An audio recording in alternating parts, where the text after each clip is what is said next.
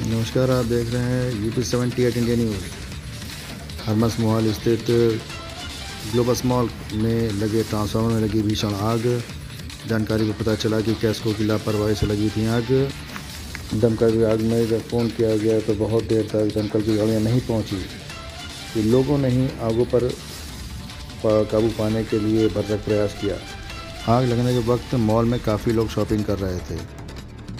ऐसी खबरों के लिए जुड़े रहिए UP seventy eight India news के साथ।